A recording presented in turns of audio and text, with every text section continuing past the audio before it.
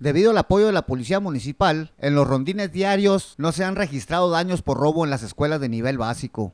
Sí, así es, este, gracias. Este, he estado muy tranquilo en las escuelas, eh, tenemos el apoyo de, la Policía Municipal, este, le giramos un oficio pidiendo su, gran apoyo y ha respondido muy bien, gracias a Dios.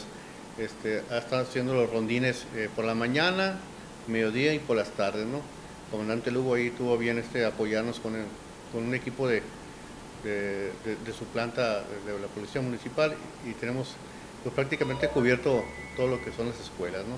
Hasta ahorita no se ha presentado un incidente, esperemos que sí sigamos igual hasta, hasta entrar a, los cursos normales. ¿no? El subdirector de Educación Municipal hace un llamado a la comunidad de que si ve algo irregular en las escuelas, de inmediato denunciar al número de emergencias para que acudan las autoridades.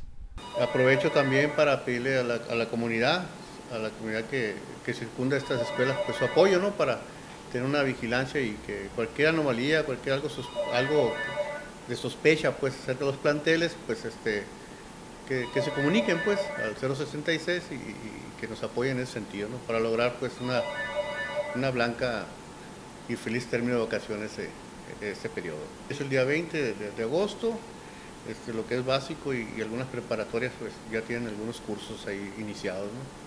Al igual que algunas universidades. Jesús Manuel Portillo, Mega Noticias.